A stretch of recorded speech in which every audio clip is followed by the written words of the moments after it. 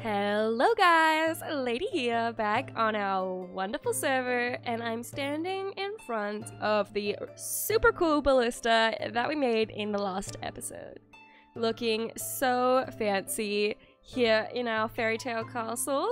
I really like the look of it. I have uh, just added a couple of details, changed it up just a tiny bit just to give it a bit more of a mechanical feel, make it feel like it can actually lift up here and start shooting. But yeah, I'm really happy with how this thing turned out last episode. Now, the first thing I want to do in today's episode is to come back to this wonderful farming district and start filling in all of these fields with crops. As you can see, I have successfully finished up all of these walls now, so all the fields are completely filled in and surrounded, and it's getting nighttime. oh, and that was my last rocket. But uh, yeah, this place is looking good. So I want to start out by really filling these things in and just making it look a lot more like an actual farming district.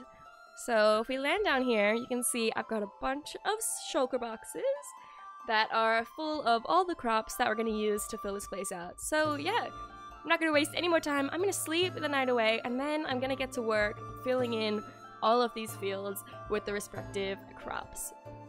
Okay guys, I have just been AFK for a little bit, trying to wait for some of these crops that I've been planting to grow, and it looks like they have, for the most part.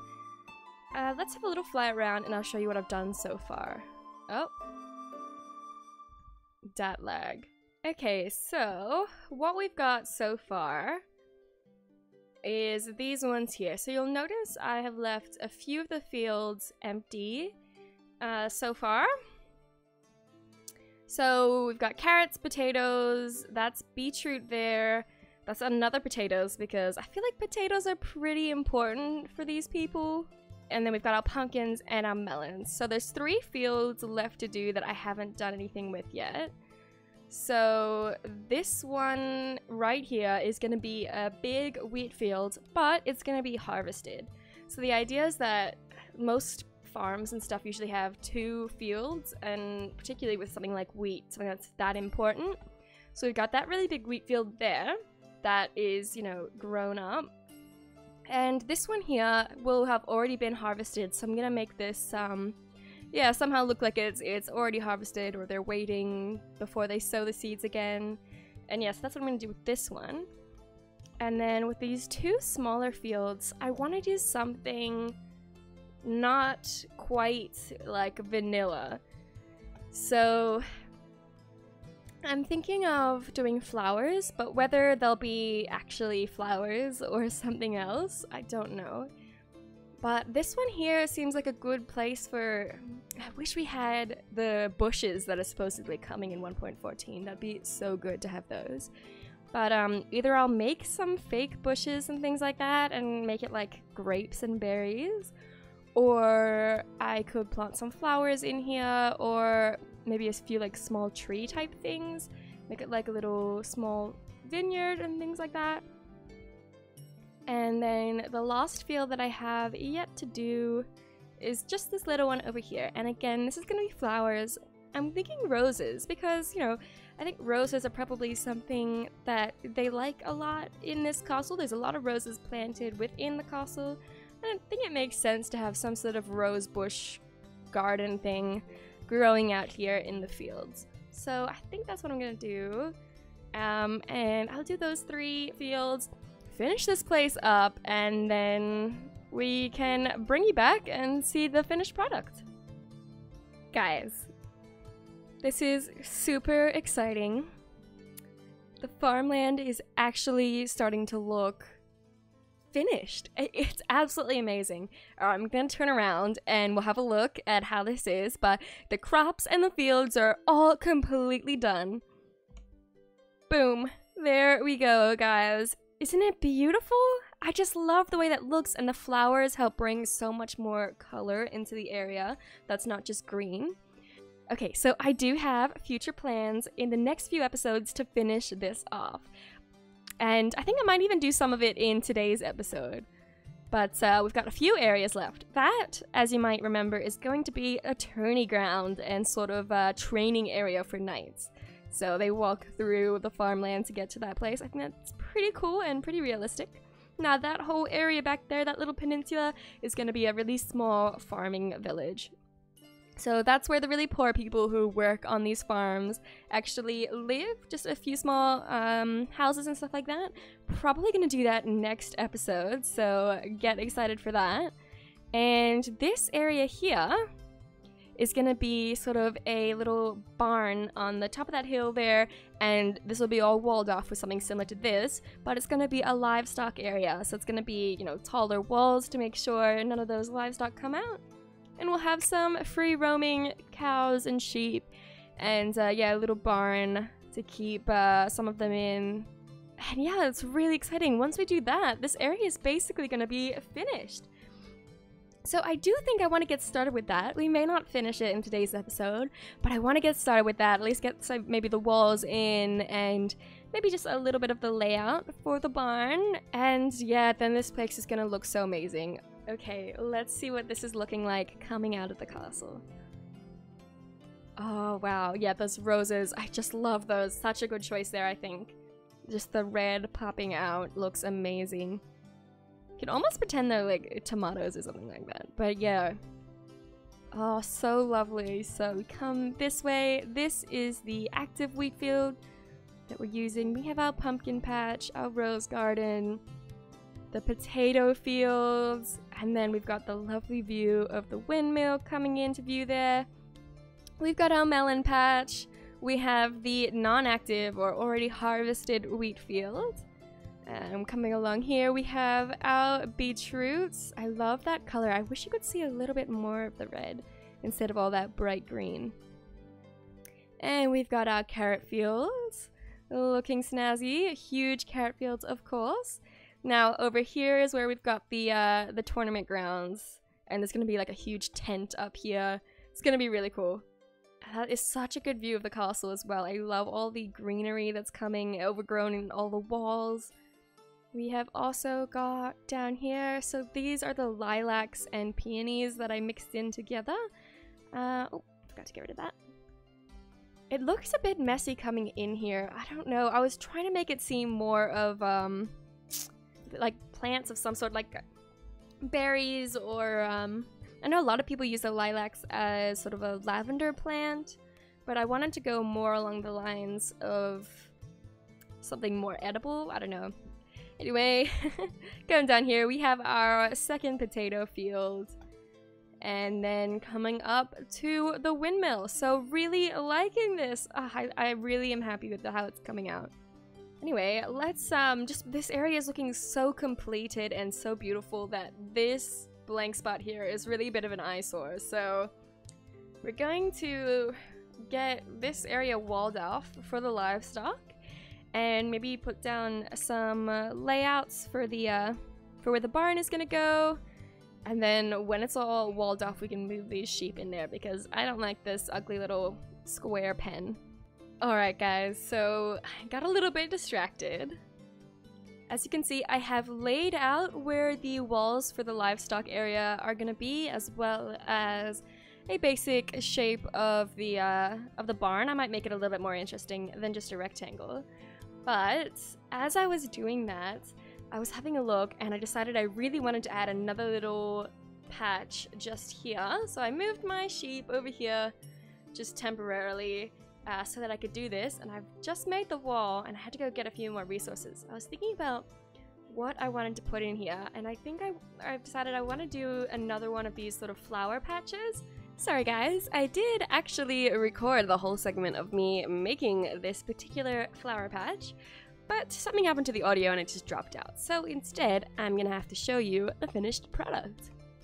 Boom, there we go actually really like the way it turned out. I was trying to go with um, maybe a bit of hidden, like sort of berries or something like that, trying to make the flowers look like they are um, maybe blueberries or something like that, something edible. but um, yeah, I, I do like the way it came out. It's really different to all the others, and it does bring out just another color into this entire area. So really happy with that. Something I wanted to show you guys real quick that I forgot to show you earlier is something that I discovered and I think it's really cool, so I want to show you. I figured out a way to hide both lighting and the uh, water for the crops in the same spot. So there we go. Just a bit of glowstone down there and then a waterlogged trapdoor. And it means that I don't have to waste too many crop spaces on hiding lighting and water separately. Um, and yeah, I think it's really good. It looks really nice and it's really efficient and yeah, works really well. So I've got that in all of these just for, you know, um, continuity's sake. oh, look at that. That looks so cool. Castle in the fields. Oh, I am loving that. And all the colors and stuff coming through. I'm gonna take a screenshot. There we go. Lovely. So I've decided I want to leave this for now, this uh, livestock area. We'll probably do that in a different episode. Alright guys, so let's have one more fly around this now completed farmland. Check that out. I love the flowers and the color that they bring to this area. I really wish those crops weren't quite so fluoro green. but uh, yeah, uh, it looks really good. Yeah, and I'm, I'm really happy about that, that little addition there. So I'm gonna leave this project for another day, this whole livestock area, and we're gonna go and get started on the next project we're doing for today. But before I do that, let's quickly land down on top of one of these roofs here, if I can, and show you this is the new house that has just been added to the town, the castle town.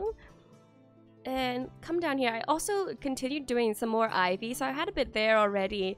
Um, and obviously throughout the entire castle, I have been going for that sort of overgrown kind of look. I was working on this area and this big grey wall was just a little bit much for me, so I added these uh, these vines and stuff to sort of break it up a little bit. And this is the new house.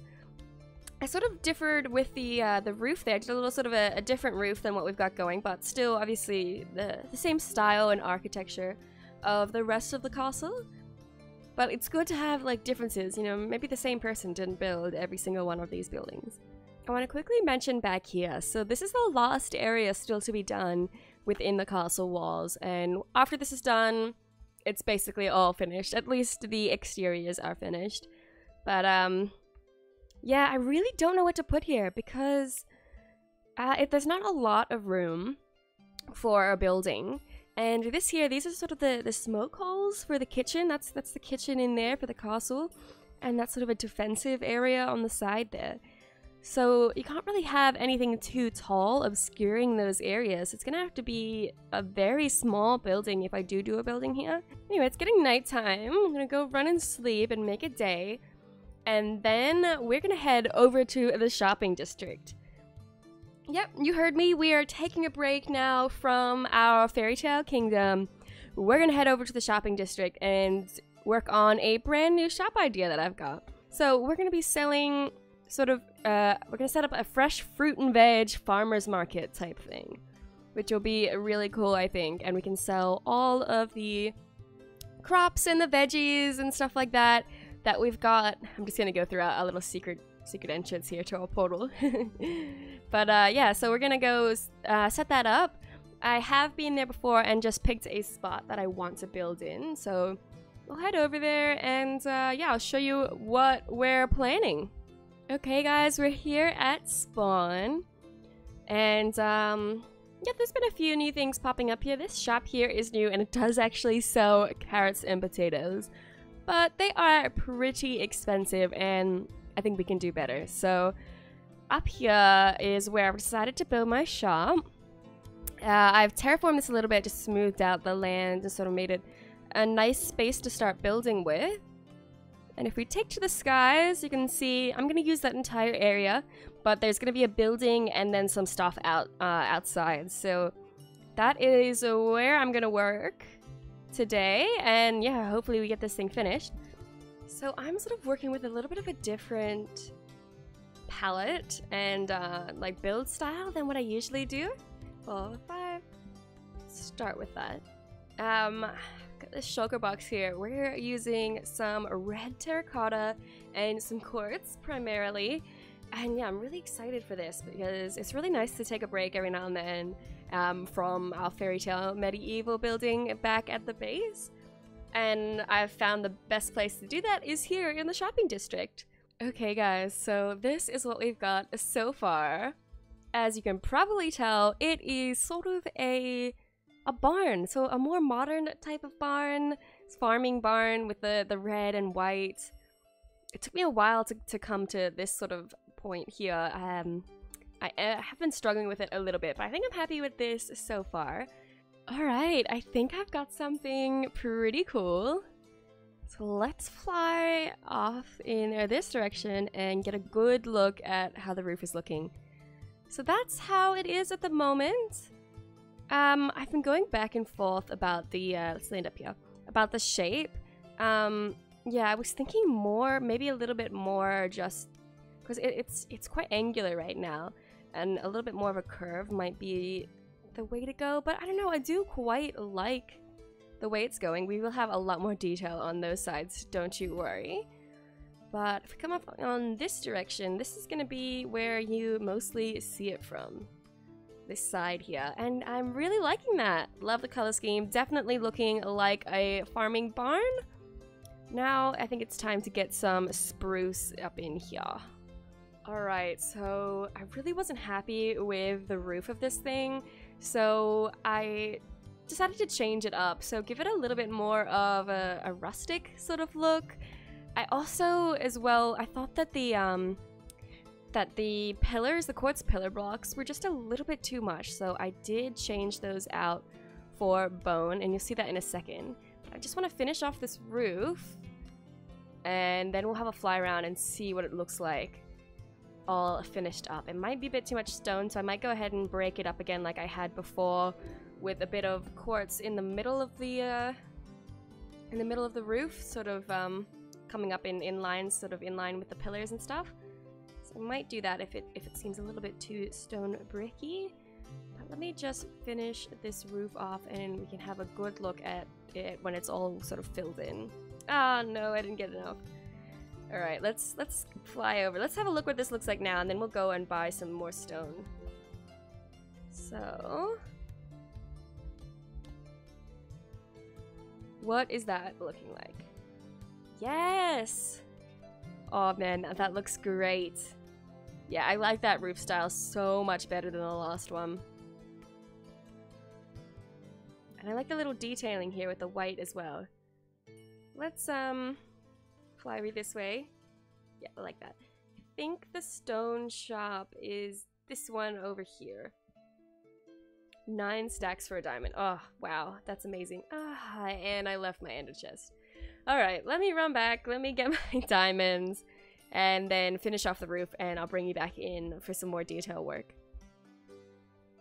Oh, guys, look at that! Yeah, I'm really happy with that. It might be too much stone, so I might add the uh, the quartz like lines going up along there. But I don't know. It, it is. It doesn't look too bad as it is.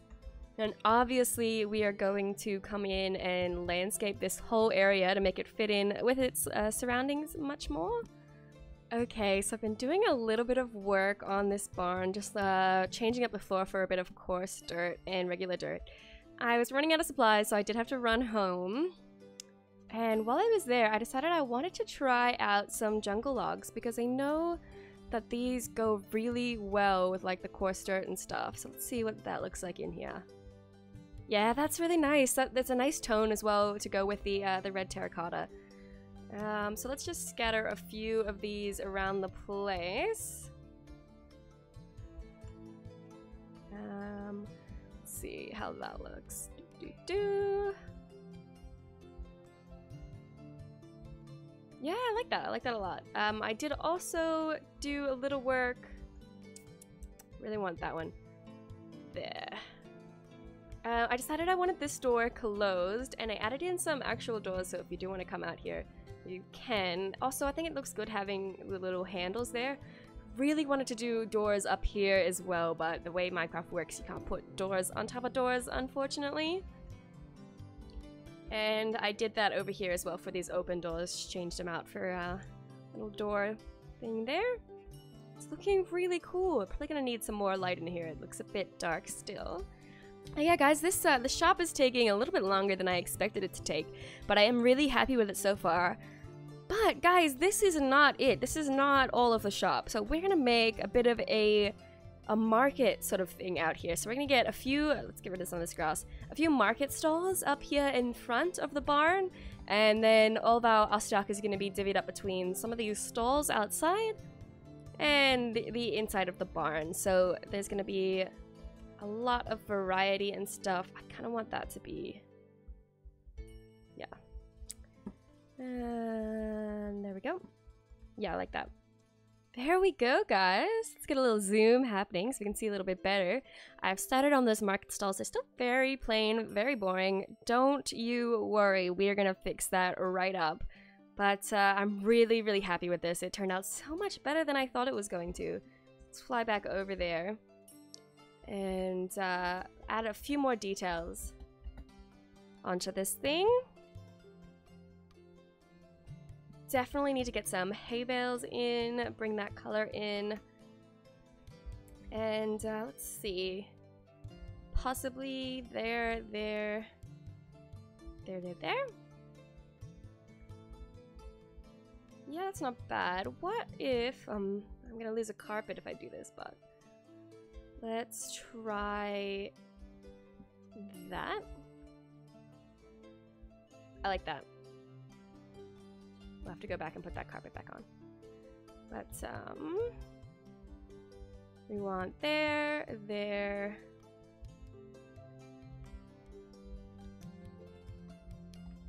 Do we want that, maybe, actually? I do like that better.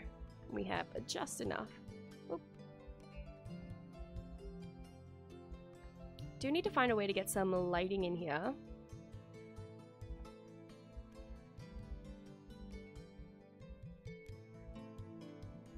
Don't like how that connects there to the fences. So maybe we'll leave that blank.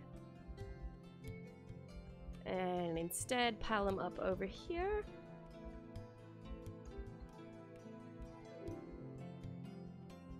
I'm liking that Let's get a couple over this way. And maybe a whole bunch back here. Sort of close this area off. Okay, I'm loving this. I'm loving this so, so much. So obviously the next thing to do is to start getting our stock moved in here, I think.